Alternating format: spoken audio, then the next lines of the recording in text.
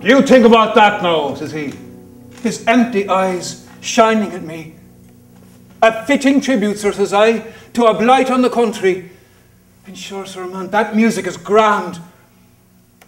But you must admit, sir, that the subject is a light and easy one. Well, begging your pardon, sir, but look, have you never tried something with a bit more meat to it? Something closer to your heart, maybe. Well, I feared he'd flare up as before and set to flinging the blisters. But he just smiled and he says, Ah, maybe I will one day, MacCabe. sure, no, man. Maybe I will.